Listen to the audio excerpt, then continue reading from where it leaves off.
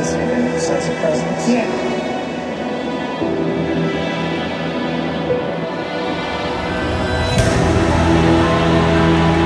It's coming from up there.